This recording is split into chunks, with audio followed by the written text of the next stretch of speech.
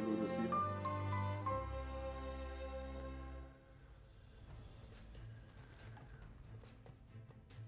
Zwei Erfahrungen möchte ich mitteilen aus der Praxis, für die Praxis. Und zwar zum Thema Blockaden lösen, Selbstsabotageprogramme ganz auflösen. Hier an einem Beispiel mit einem Fluggerät möchte ich das gerne aufzeigen. Nehmen wir an, ihr habt euren Jumbo schon betankt und alles ist startklar. Es kann auch ein anderes Fluggerät sein, es kann auch ein Airbus 380 sein.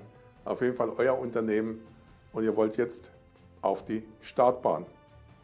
Habt alles wunderbar gemacht. Die fünfstelligen Einkommen sind am Monat schon erzielt und jetzt geht es darum, das Next Level zu erreichen.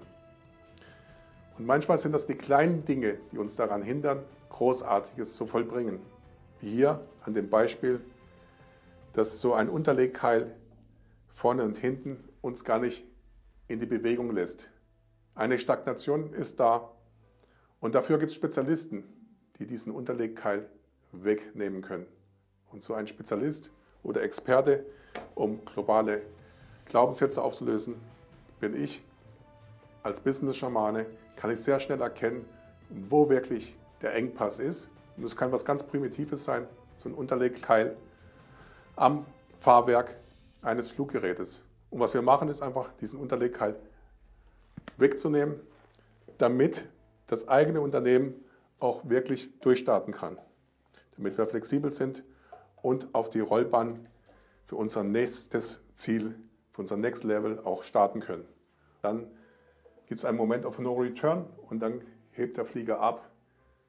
Und das ist das gemeinsame Ziel, diese Unterlegkeile zu erkennen und zu transformieren. Wenn das nur ein Unterlegkeil wäre, wäre das nicht so schwierig, ja, sondern das äh, Thema ist so, dass wir praktisch nicht nur solche Unterlegkeile haben, sondern dass wir ganze Container vor unserem Business haben, dass wir gar nicht mehr skalieren können.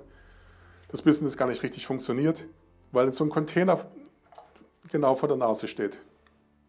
Und solche Selbstsabotageprogramme haben natürlich eine besondere Auswirkung, weil wir dann richtig gelähmt sind oder gar nicht wissen, wie wir vorankommen. In zum Container machen, werden meistens die Reparaturen durchgeführt, das heißt, hier werden praktisch Glaubenssätze transformiert, das Mindset verbessert, aber letztendlich passiert das alles im Container und der Container behindert immer noch ja, das richtige Abheben, das richtige Durchstarten des eigenen Unternehmens oder wenn wir schon gut unterwegs sind, ja, auf eine neue Flughöhe zu kommen. Deswegen empfehle ich, gerade bei solchen Selbstsabotageprogrammen, solche Container insgesamt wegzufahren ja, dass sie ganz wegkommen. Und das geschieht auch hier durch eine spezielle Möglichkeit, die wir gerne aufzeigen wollen in einem persönlichen Gespräch, ja, dass solche Container auch weggetragen werden. Dann sind wir wirklich frei, um in die nächste Ebene zu kommen, auf das nächste Level, was wir uns wünschen.